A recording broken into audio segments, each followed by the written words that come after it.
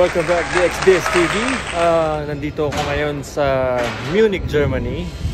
Uh, capital ng Bavaria, which is Munich. Um, bali ngayon, medyo malabo ang camera natin.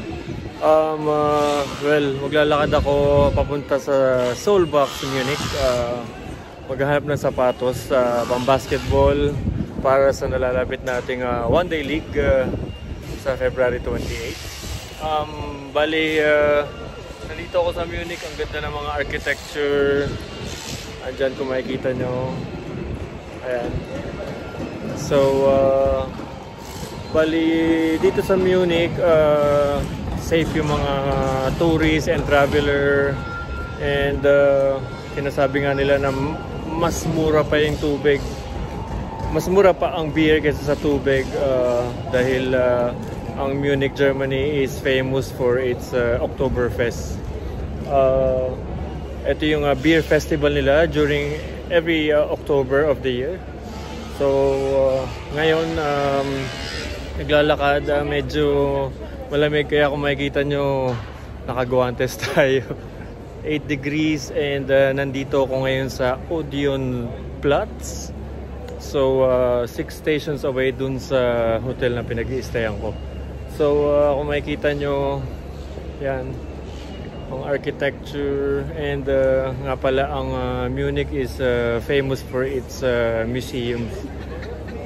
So uh, ayan, medyo namumula-mula ang ating pisngi dahil sa lamig.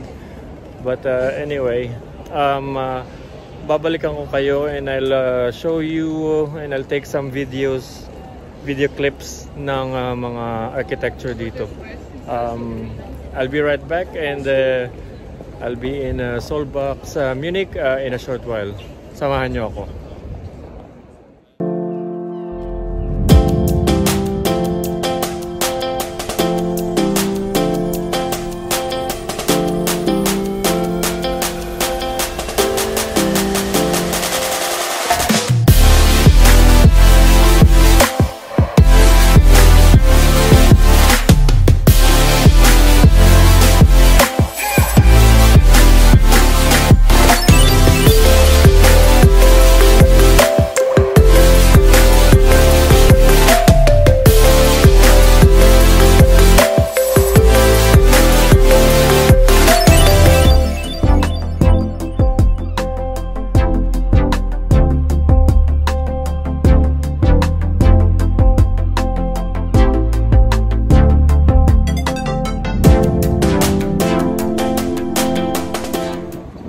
Bali ngayon uh, I'm heading to uh, Soulbox. Bali yung nakikita nyo palang uh, background. Ito yung uh, Neo-Gothic uh, Museum. Uh, Neo-Gothic uh, Tower and then uh, bali ngayon nagna-navigate lang ako using my phone. Uh, medyo it's a 5 minute walk papunta dun sa Soul Box.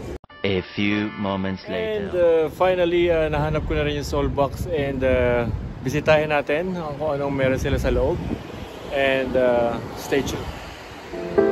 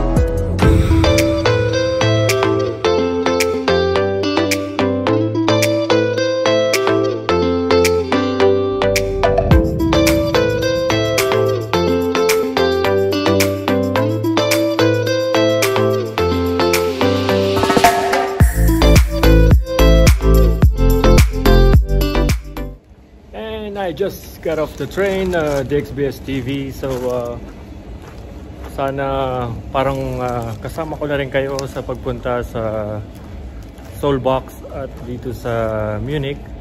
At uh, sana nagustuhan nyo yung mga pinakita ko, yung uh, ano itsura ng uh, city center. And ang oras nga pala ngayon dito is uh, bali uh, 8.30 ng gabi. Uh, 3 hours uh, ahead ang Dubai time so 11.30 na sa Dubai. So uh, hanggang sa muling mga vlog natin para sa mga sneaker shop uh, worldwide um, sana patuloy pa rin kayo sumuporta sa amin sa DXBS TV sa akin and hanggang sa next vlog natin. Uh, sana abangan nyo. Please like, comment, share, and subscribe. At uh, dito na lang nagtatapos ang ating vlog and I hope to uh, see you again all soon uh, with my uh, recent uploads. DXBS TV, over and out.